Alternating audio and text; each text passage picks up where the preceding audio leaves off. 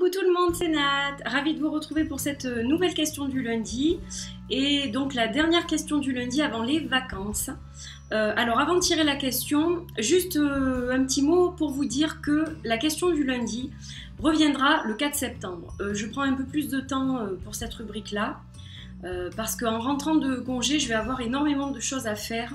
je travaille sur un projet depuis quelques temps déjà, donc il va falloir que j'essaye de boucler ce projet avant la rentrée, donc j'aurai pas le temps de, refaire euh, toutes les rubriques qui sont euh, hebdomadaires. Hein. Euh, je vais reprendre les guidances, par contre la question du lundi ne reviendra que le 4 septembre. Voilà. Donc on va tirer une question. Alors déjà j'en ai une à rajouter, donc je la mets dans la boîte. Et on va tirer une petite question. Alors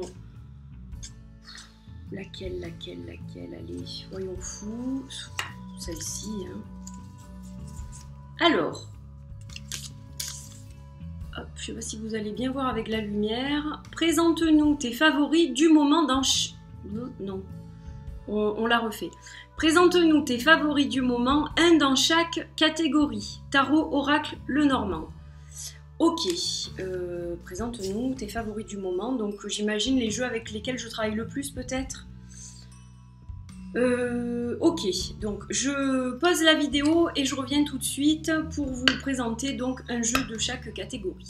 Alors donc le premier jeu c'est le tarot de Delphi. Donc je vais vous le montrer euh, un peu de travers parce que sinon si je vous fais ça vous allez avoir la brillance de la lampe donc ça va être gênant.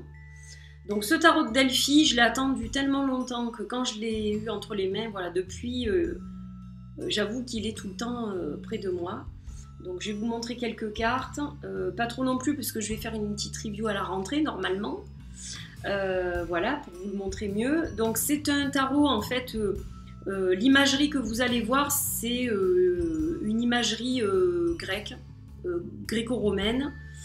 Ce sont des peintures de l'ère victorienne et pré-raphaélite, donc des années 1800, hein, de 1800 à 1900 à, peu près. Voilà, de plusieurs euh, peintres. Donc vous avez entre autres du Waterhouse, vous avez aussi du John Collier par exemple. Donc de très très belles peintures, de très très très très belles illustrations. C'est un tarot qui est vraiment magnifique. Pour moi, ce sont des œuvres d'art. Euh, c'est plus qu'un tarot. J'aime beaucoup les, peintures euh, de cette époque-là et donc du coup, j'ai l'impression d'avoir des mini tableaux à chaque fois en fait. Donc euh, voilà, il a vraiment quelque chose, euh, une énergie très spéciale ce tarot. Regardez, celle-ci est très très très particulière au niveau du, du, cadrage en fait.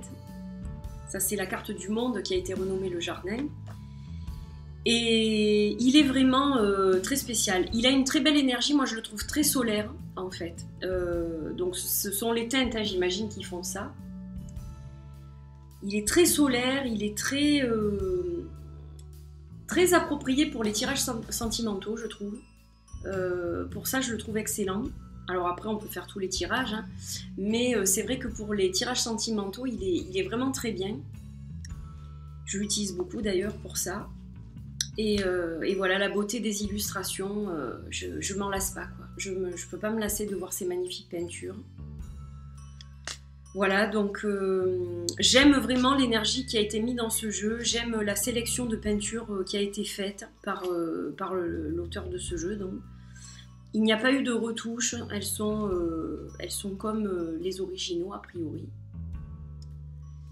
Euh, et avec ce papier glacé, c'est vrai que les couleurs ressortent bien. Euh, voilà, c'est vraiment un beau travail qui a été fait. Alors, pas de retouche, je vous dis ça, mais ça sera vérifié avec l'étoile originale.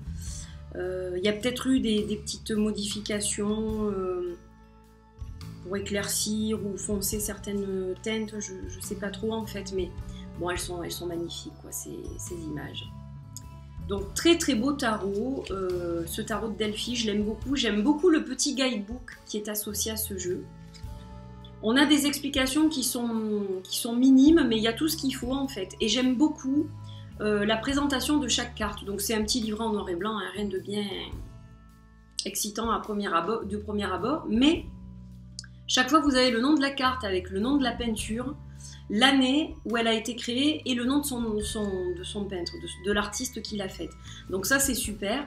Ensuite, on vous fait une petite explication euh, de la peinture. Donc vous savez quel personnage vous retrouvez, quelle divinité grecque, etc. Donc ça, c'est génial en fait. Euh, voilà, euh, grec où je vous dis, on vous donne l'association. Là, par exemple, on vous parle de Vénus et on vous dit qu'au niveau grec, c'est Aphrodite. Donc il y a toujours l'association au niveau grec. On vous décrit la carte, on vous dit euh, un peu la tendance de cette carte. Et vous avez aussi en fait des mots-clés. Donc je le trouve super bien fait le livre. Il est pas, pas très épais, hein. vous voyez c'est un tout petit guidebook, mais il est super bien fait. Puis j'aime bien lire le guidebook justement parce que ça vous plonge dans la peinture. Euh, euh, voilà, vous apprenez, euh, si vous ne connaissez pas, moi je ne connais pas toutes les peintures par cœur. Hein. Bon, celle-ci je la connaissais de John Collier, c'est une de mes peintures favorites. Je savais que c'était la Pity de Delphi, donc la grande prêtresse de Delphi. Mais c'est vrai que je ne connais pas toutes, toutes les peintures et, tous les personnages qui sont qui sont donc dans ces peintures. Donc c'est vrai qu'on apprend une, tas de choses au niveau historique. Donc je trouve ça génial. Voilà, pour ça il est super aussi. Donc euh, c'est un, outil vraiment à part ce tarot. Euh, et, pour qu'il soit plus joli, donc je l'ai déjà dit dans mes précédentes vidéos je crois, mais pour qu'il soit plus joli, euh, je l'ai vieilli. J'ai vieilli les tranches. Voilà, je, lui ai fait des tranches beige qui sont assorties en fait aux bordures qu'on retrouve devant. Et, voilà, ça, ça, ressort super bien. Voilà. Il fait vraiment très antique, pièce de musée un peu. Donc voilà pourquoi j'adore tellement ce, tarot et c'est mon go-to deck euh, du moment. Ensuite, au niveau de l'oracle, c'est l'oracle de cristal de Corinne Madeleine.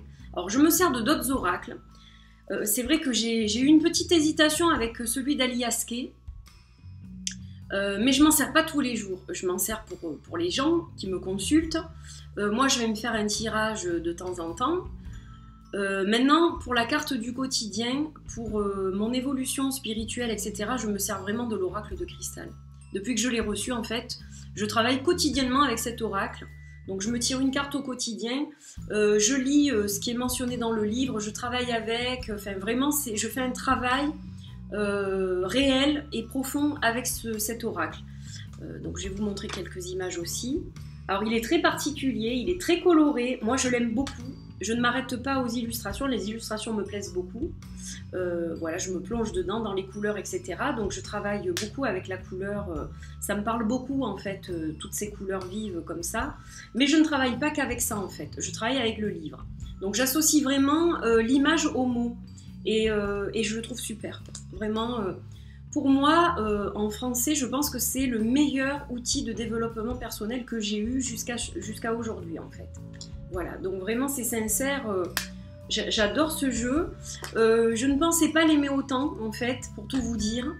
Euh, et finalement, je suis complètement portée par, par ces illustrations et les mots qui sont associés. Donc voilà, c'est un, super outil pour travailler au quotidien. Et vraiment, je, l'apprécie beaucoup. J'aime beaucoup le jeu, le, le dos, pardon. J'aime beaucoup le dos de ce jeu. Je le trouve très très beau. Il est particulièrement réussi. Voilà, donc euh, mon go-to deck aussi, euh, puisque je vous dis, je m'en sers quotidiennement. Voilà pour l'oracle. Et on va finir par le Lenormand. Alors pour le Lenormand, c'est le Destroy d'Andorre. Parce que depuis que je l'ai reçu, c'est vrai que celui-là, euh, il est tout le temps près de moi aussi, il n'est pas très loin. Parce que bah, il, est, il, est, il est spécial. C'est un jeu qui a l'air d'être antique. Il a l'air, on dirait un original en fait pratiquement. Bon, on sent que les cartes sont neuves. Hein. D'ailleurs, celle-ci, je vais aussi euh, faire du beige sur le côté pour que vraiment il ait ce, ce rendu vraiment vieilli. Et puis une fois qu'elles auront été un peu manipulées, je pense qu'il fera encore plus antique. Mais voilà, moi ce qui me plaît dans ce jeu vraiment, la particularité, c'est que c'est une, une fidèle reproduction, un facsimilé, on peut dire. Là vraiment, c'est un facsimilé 100% d'un jeu qui a été confié donc à Games of Hope le Normand par une personne qui s'appelle Le Fanou. D'ailleurs, il porte son nom, Le Fanou Destroyed Dondorf. Donc cette personne a, a contribué donc à apporter ce, ce, jeu. Donc elle avait l'original. C'est un original euh, qui était en sa possession. Et sur cet original, ce qui est original, c'est que la personne qui l'a possédé en dernier, ou qui l'a possédé, euh, a écrit les significations des cartes, en principe, hein, a priori je pense que c'est ça, euh, sur les cartes. Donc on retrouve des écrits en allemand, de ce que je peux voir. Alors quelqu'un qui parle très bien l'allemand peut-être arriverait à décrypter ce qu'il est écrit. Et euh, on y retrouve des taches d'encre sur de nombreuses cartes. Donc presque on arriverait à, savoir quel tirage a été fait en dernier avec ce jeu.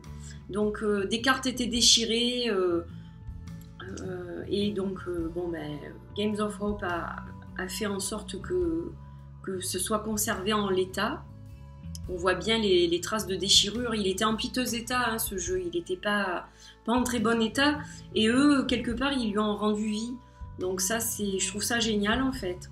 Et c'est vraiment pour ça que j'ai voulu acheter ce jeu, pour ce côté vraiment très on sent qu'il y a une âme dans ce jeu. Quoi. Je sais pas comment vous dire. Ce n'est qu'une copie, bien sûr, mais euh, il y a quelque chose. quoi. L'encrier qui s'est renversé, je trouve ça magique. Là, on voit nettement la tasse de thé ou de café.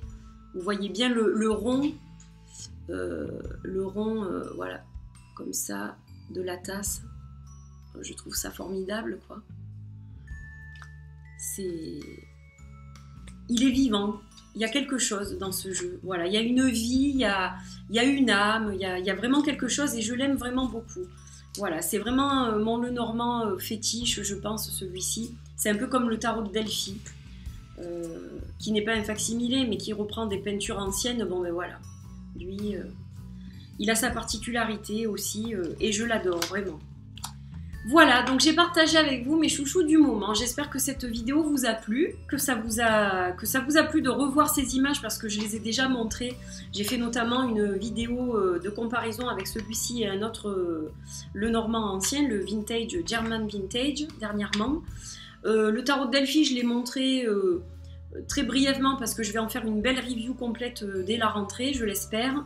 Et l'oracle de cristal, vous l'avez déjà vu puisque j'ai fait aussi une belle vidéo euh, assez longue sur cet oracle. Voilà, donc euh, j'espère que vous avez aimé cette question du lundi. J'espère que tout le monde va bien, que vous continuez à passer un bel été, que vous profitez de vos vacances si vous en avez. Bon courage à ceux qui n'en ont pas, je pense très fort à vous aussi, parce que je sais qu'il y a plein de gens qui n'ont pas de vacances, donc je pense vraiment très fort à vous.